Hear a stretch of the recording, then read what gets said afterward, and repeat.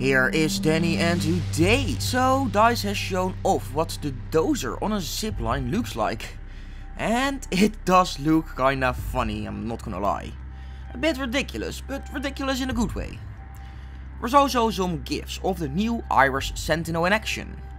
Also, DICE has said they want Irish's pick rates to go up, but at the same time they nerf his kit, which makes absolutely no sense to me in any single way.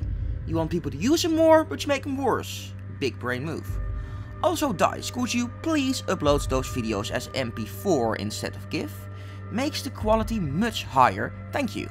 But hey, that is all I got for now. Subscribe for more. This was Danny and I see you on the battlefield.